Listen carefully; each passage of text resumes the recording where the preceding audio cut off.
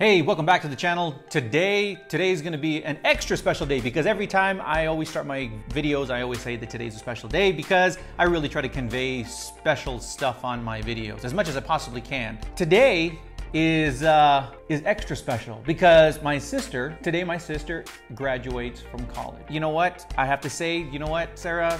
I understand now why you missed birthdays, why you missed special events, why you didn't come to your nieces or nephews uh, shows. And this is not a backhand for that, but you know what? It's understandable now why you had to do what you do. You had to make the sacrifices that you made because today, today you see the fruits of your labor. She is now Dr. Sarah Ingram.